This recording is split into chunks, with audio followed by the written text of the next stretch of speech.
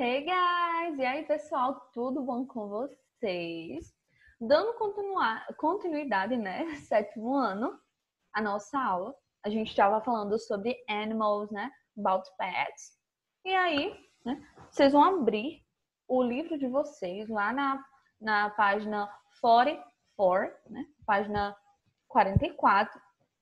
E, né? Vai ter a sessão de áudio. Vou reproduzir o áudio aqui para vocês. Lembrando que lá no site TV vocês também podem acessar no portal SAIS, abrir lá o site TV na partezinha do listening e ouvir o áudio, no mesmo áudio que eu vou reproduzir para vocês, tá bom? Mas, primeira questão, a gente não precisa, né, do áudio, então diz assim, diz o seguinte, né? Make a list with the names of three movies you have seen that have animals as main characters. Então, faça uma lista né, com o nome de três filmes né, que você já tenha visto que tenha animais como personagens principais, né? E a gente sabe que há vários, né, uma infinidade de, de filmes em que os animais eles têm vida, os animais eles são personagens principais. E aí eu trouxe quatro filmes, né, aqui, quatro opções, né, que vocês é, podem conhecer ou que eu já assisti, né, que eu gosto tá? Amo filme infantil, amo desenho animado, né? Então trouxe aqui Find Nemo, né? Find Nemo, Procurando Nemo, clássico, né? Todo mundo conhece. The Lion King, sou apaixonada, choro horrores assistindo esse filme, né? É um clássico também, né? Muito mais do que o Nemo, todo mundo, né? Já deve ter assistido. Quem não assistiu, assista porque é muito bom. Barnyard, Barnyard, né? É o segredo dos animais, né? É um filme também muito bom, eu gosto bastante, né? Eu acho que eu tinha uns 15 anos quando eu assisti esse filme. Mas eu era apaixonada. Era no tempo ainda que tinha locadora. A gente locava o filme né? para poder assistir. A gente locava na sexta-feira, passava o final de semana, repetia umas duas, três vezes o mesmo filme e amava. E eu tenho aqui uma das, é, trouxe também, né, Madagascar, também todo mundo conhece, tem o filme e também tem ele em pequena, pequenos episódios, né, que passava na TV Globinho. Pronto. Então, esses são quatro exemplos que eu trouxe para vocês, né, que eu gosto, que eu conheço, que eu já assisti vocês também podem colocar outras opções, né, outros filmes que vocês tenham assistido ou que vocês têm conhecimento, tá? Ah, já trouxe aqui um com a resposta, mas não tem problema não, tá certo? A gente vai assistir, né? Assistir não, desculpa. Ouvir um áudio que conta a sinopse de um filme. Vamos fingir que essa letra B aqui não está marcada ainda, tá certo? Então vamos fingir, tá? É, então vocês vão ouvir, né, a sinopse do que conta este filme. Confesso que eu nunca assistia é, é, a esse filme, tá bom? Que são os pets. Vamos ouvir.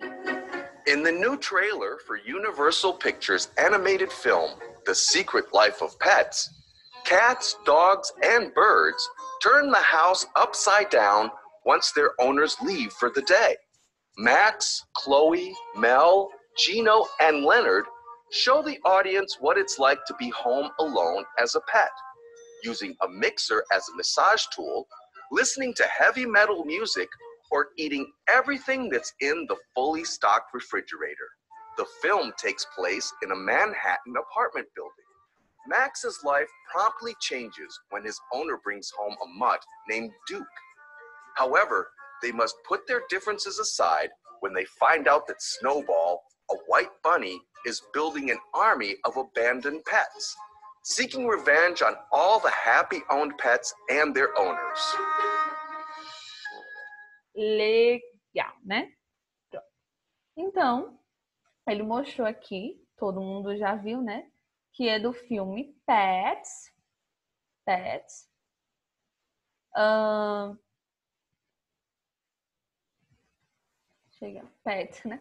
E aí ele trouxe o a sua sinopse, né? Que como a maioria dos filmes, quando o dono sai, né?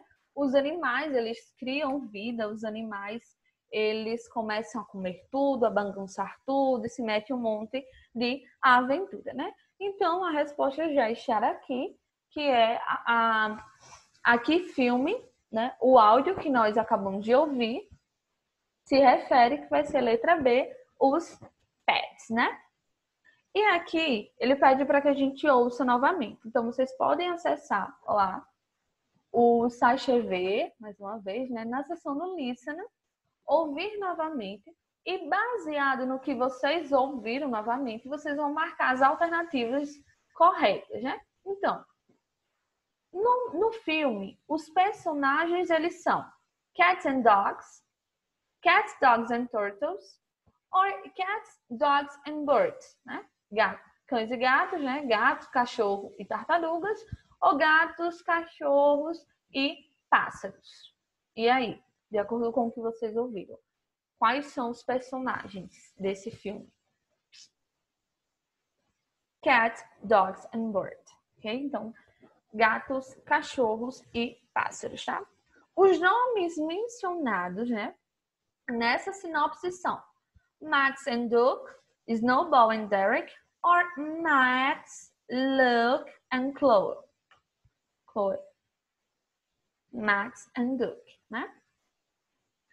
É, o filme, né? A ação do filme, né, ela se desenvolve during an, a year in the life of a pet, while the pet owners are away, or at night, né? Durante o ano da vida de um, de um pet, né? De um animal. Uh, enquanto os donos, né? Desses animais, eles estão onde eles saem ou à noite, né? Então, como é que a ação desses animais no filme ela se desenvolve, né? Como é que ela, quando é que ela acontece? enquanto né, os donos desses pets eles estão fora, certo? Então, for fourth question, when a person has a pet, are there any problems that might have? Então, quando a pessoa tem um pet, né? Quando a pessoa tem um animal, um, algum problema, né? Pode acontecer, né? É, alguns problemas eles podem acontecer, sim, né? muitos problemas podem acontecer. Recentemente eu tive um probleminha com a minha gatinha que precisou de uma cirurgia, né? Então, como as pessoas elas podem agir nessa situação? Então, vocês pensem aí nos pets de vocês e simulem aí, né, uma situação que aconteça e como vocês podem agir nessa situação, tá bom? É mais atividade de compartilhamento e aí vocês podem escrever, né, ou até mesmo fazer memória. E aí, partindo já para a página 46, a página 46, né, que eu havia pedido para vocês né, na nossa última gravação, um, no nosso último encontro, que vocês olhassem né, folha de atividade e respondessem. Hoje a gente vai fazer uma revisão e a correção dessa atividade, né? Que é sobre o nosso capítulo, ou melhor, sobre a gramática desse nosso capítulo, né? Chapter 4. Então, vamos observar essas duas frases aqui. Dogs can run very fast. You can take it, take it to school with you, né? Então, cachorros eles podem correr rápido, né? E você não pode levar isso para a escola com você, né? Então, nós temos aqui can and can, ok? Uh, então, vamos responder. Na sentença 1, o can, ele vai expressar ability or permission, né? O can, quando eu digo que dogs can run very fast, os cachorros, eles podem correr, eles sabem, né? Melhor dizer, eles sabem correr rápido. E aí, vai ser uma habilidade ou uma permissão? Vai ser uma habilidade, né? A habilidade do cachorro em questão aí é correr rápido. Na sentença de número 2, o can't, ele vai expressar uma habilidade ou uma proibição. Quando eu digo que you can't take it, take it to school with you, né? Você não pode levar isso para a escola com você, né? O can't, aí ele vai expressar o can, aí ele vai expressar uma proibição, tá certo? Quando eu digo que você não pode, né? Eu estou não permitindo, eu estou proibindo você de levar o seu animal de estimação, um brinquedo, alguma coisa para escola. Nós temos também um cartoon aqui, né? Do Garfield. Todo mundo conhece o Garfield, né? Clássico, um quadrinho clássico, um desenho super clássico, presente em muitas atividades, né? Então a gente tem aqui o Uda. Uh, é Uda, eu esqueci o nome do cachorro. o Garfield e temos o John, né? O John aí. Então, o Odd é Odd, o nome do cachorro, sorry. O Odd. Então, o tem um nome bem aqui. O Odd, uh, o John ele diz, Odd, dogs can climb trees, né? Odd, cachorros não, não, não sabem subir em árvores. Aí o Garfield, né, sempre com esse humor dele, essa alegria incrível, ele diz, It's amazing what one can accomplish when it's amazing what one can accomplish when one doesn't know what one can do, né? Então, é incrível, né? Como você realiza as coisas, é, como se pode realizar coisas quando é, não se sabe que não pode fazer, né? Como eu confuso, né? Mas assim, é incrível como a gente consegue realizar determinada coisa quando a gente não sabe, né, que nós não podemos fazer. Né? Então, é incrível, é surpreendente. No cartoon, quando John diz, né, dogs can climb trees, né, o que isso significa, né? Uh, o, o que significa que os cachorros eles não têm permissão de subir em árvores, né? Dogs don't have permission to climb trees. Ou os cachorros, eles não sabem como subir em árvores. E aí, quando ele disse, quando o John disse, né, que dogs can't climb trees. E aí? Vamos marcar a segunda opção, né? Que dogs, eles não sabem. Poder, podem, mas eles, né, muitos deles, né, nunca vi um cachorro subir árvore, na verdade, mas eles não sabem como subir nessas árvores. Eles não têm conhecimento. Né? Question 4. When Garfield thinks it's amazing what one can accomplish when one doesn't know what one can do, o que é que significa, né? Quando ele diz que é surpreendente como você pode realizar, né? É, determinada coisa quando você sabe que não pode, né? Ele, ele quer, quer dizer que o águia ele pode subir na árvore porque os cachorros podem fazer isso, ou que né, ninguém né, faz alguma coisa é, que ninguém é, né, consegue fazer alguma determinada coisa quando a sua mente limita, né? Quando a nossa mente limita, por isso que a gente sempre diz, né, que tudo que a gente pensa é, o, a nossa mente ela tem poder, as palavras têm poder, o que a gente pensa também influencia muito, né? Então é como se travasse. Né? Ou que o ódio ele pode subir nas árvores porque o Garfield acha que ele pode. Letra D. As pessoas né, não podem fazer coisas que elas não sabem como fazer. Ou que o Odd pode subir nas árvores, mas o John não sabe que ele pode. Então, o que é que nessa frase o, o Garfield ele quis dizer? A, B, C or D? Vamos marcar letter B, né?